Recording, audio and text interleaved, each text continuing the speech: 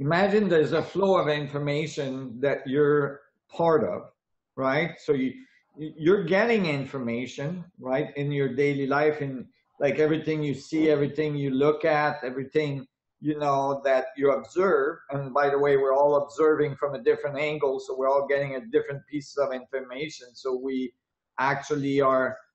you know, all kind of like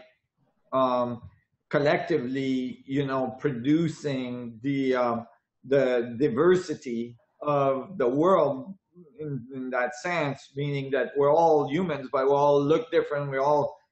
a little bit different. We all have different digits. We all have like, you know, different irises because according to this view, because when we're gathering information, feeding them to the vacuum through our biological structure into the atomic structure, into the vacuum state, we are actually giving different sets of information, different interpretation of the same thing. So we're so then the feedback makes us a little bit different from each other. Um, but basically, you can imagine that when you realize that you're part of this feedback, feed forward loop, um, when you um, when you intend,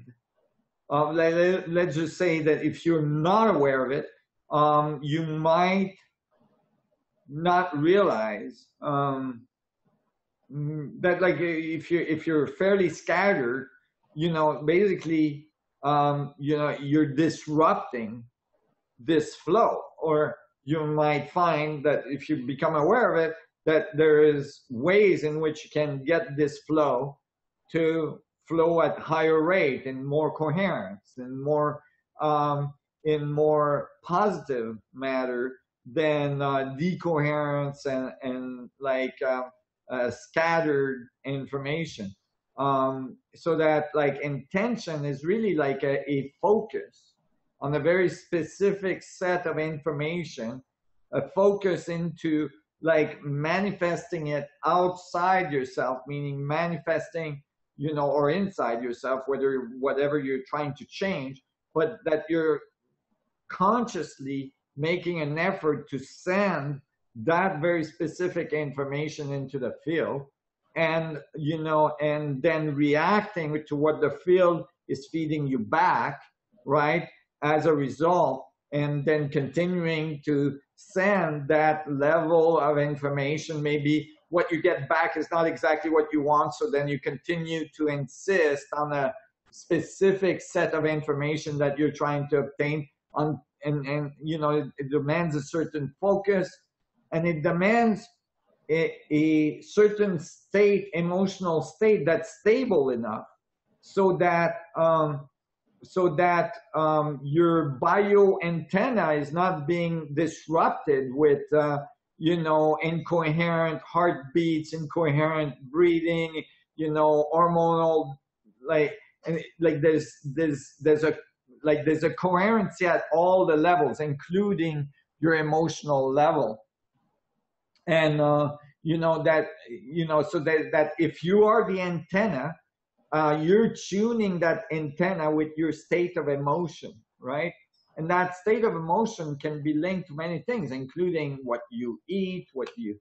if you slept enough, if you didn't sleep enough, if you're jet lagged, you know, I mean, there's all kinds of things. If you got cut off too many times on the highway on the way to work, or if you spilled your coffee on your lap on the on the way to a meeting, you know, whatever the case may be,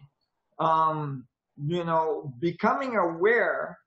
that you're a participant in this, that you're engineering this field as a co uh, a, a co-contributor to this field um, of information uh, allows you to uh, increase your impact, increase your focus, and uh, and uh, and uh, and obtain results that are probably remarkable relative to um, what you would obtain being unconscious of it and um, and um, and not necessarily knowing how to interact with it to get the most the most out of it.